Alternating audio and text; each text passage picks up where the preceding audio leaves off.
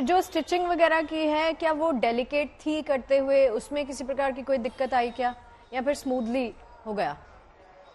देखिए मैं फिर मैं, मैं रिपीट करूँगा इस बात को कि राम में कहा सब सुगम कठिन कठिनाई कुछ कठिनाई से लगती नहीं है होती नहीं कठिनाई। हम्म। कठिन था अगर मुझे उसको बोलूँगा हाँ कठिन था लेकिन कठिन कुछ नहीं होता जब भगवान का काम कर रहे हैं सब अपने आप हो जाता जब भी लगते थे कहीं फंसते थे दो मिनट का पॉज लेकर दो सेकंड का पॉज लेकर भगवान राम को याद करते थे हनुमान जी को याद करते थे और अपने आप काम शुरू हो जाता था। मनीष मंदिर में रामलला के साथ साथ और भगवानों की मूर्तियाँ भी स्थापित हुई हैं।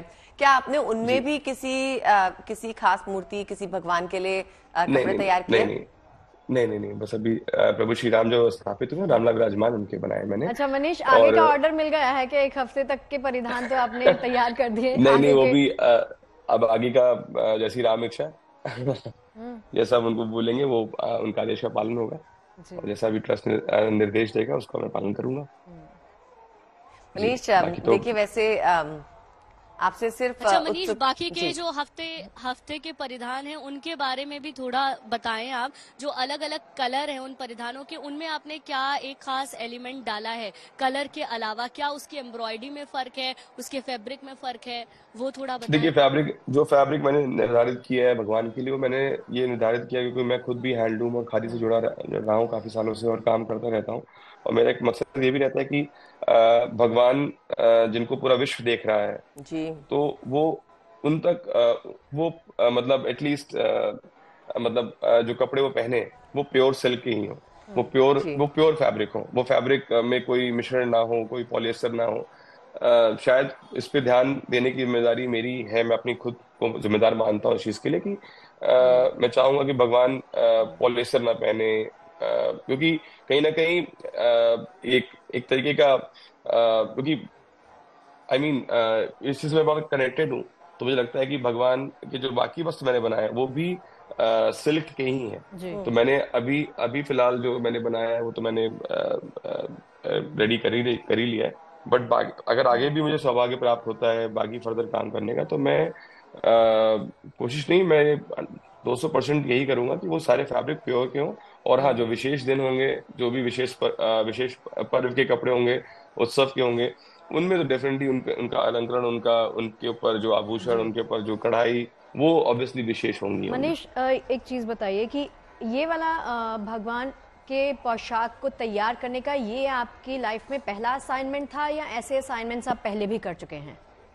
मैंने बताया आपको कि तीन साल पहले मुझे सौभाग्य प्राप्त हुआ था रामला विराजमान की अच्छा। पोशाक बनाने का। हम्म, और मैं अभी आ, उसके बाद मैंने राम अमरनाथ श्राइन बोर्ड के लिए भी डिज़ाइन किया था। हम्म। और और मैं खुद अभी अपना एक मेरा एक एक है प्रोजेक्ट है मैं इसको ध्वज प्रोजेक्ट बोलता हूँ। इसके तहत मैं छोटे लेवल पे लोगों को जो ग्रामीण महिलाएँ उनके साथ काम करके उनको भी हम्म। मंदिर के पोशाक बनाने का प्रशिक्षण देता हूँ जैसे कि वो अपने आसपास के मंदिरों का भी सज्जा कर सके अच्छा मनीष ये बताइए दर्शन कैसे हुए? आपने अपनी आँखों से भगवान को पोशाक पहने हुए देखा कैसा महसूस हुआ? देखिए मैं तो बोलूँगा आपको कि भगवान को तैयार करने की ज़िम्मेदारी अपनी थी तो हम लोगों ने भगवान को अपने हाथ से सजाया उनको कपड़े पहनाए तो उससे बड़ा सौभाग्य तो जीवन में कभी आ, नहीं मिलेगा हम्म। और सच में जब दर्शन किए कल सुबह जब भगवान के दर्शन किए उनके पोशाक में उनके हम्म। पूरे के अलंकरण के साथ तो दिव्यता तो वैसी थी जैसे मानिए साक्षात बैकुंठ में आके बैठ गए हो हम्म। जहाँ भगवान विराजमान होंगे जहाँ पे रामलाल विराजमान होंगे वो बैकुंठ से कम क्या होगा? अच्छा तो, मनीष अभी किस प्रकार के कॉम्प्लीमेंट्स मिल रहे हैं? आई एम श्योर के फीडबैक्स मिल रहे होंगे कॉम्प्लीमेंट्स मिल रहे होंगे। तो क्या प्रतिक्रिया है आपके साथ वालों की परिवार वालों की टीम मेंबर्स की? क्या एहसास है? देखिए मेरे माता पिता तो बहुत खुश हैं हम्म। बहुत उत्साहित हैं और आई थिंक मेरी मेरी पत्नी बहुत खुश है। वो भी मतलब उनके आँसू नहीं रोक रहे बिकॉज़ उनको लग रहा है मतलब एक तरीके से देखिए वही है जो मैंने कहा कि ज़िम्मेदारी थी कि, भग, कि देश को देखना है पूरे विश्व को देखना है कि भगवान कैसे दिखते हैं।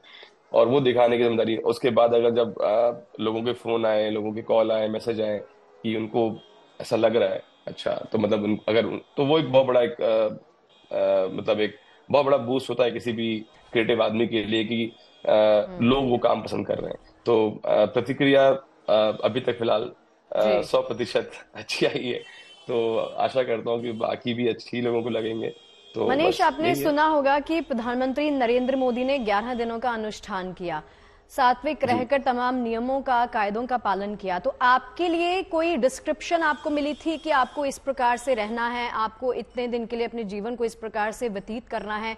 कुछ डिस्क्रिप्शन कुछ नियम कायदे कुछ आपको फॉलो जो करना देखिए मैं देखिए मैंने आपसे कहा ना एक जो ट्रस्ट ने विश्वास जताया मेरे ऊपर अभी भी आज भी मैंने भी चप्पल नहीं पहना है हम लोग नंगे पाँव काम कर रहे थे। और अच्छा। जी हाँ ठंड में हम लोग यहाँ नंगे पाँव काम कर रहे थे और मैं मैं ही नहीं मेरी पूरी टीम नंगे पाँव काम कर रही थी। और अ, मतलब मैं खुद भी सात्विक प्रवृत्ति का हूँ और दिल्ली में रहता हूँ दिल्ली में गाय रखी हुई है।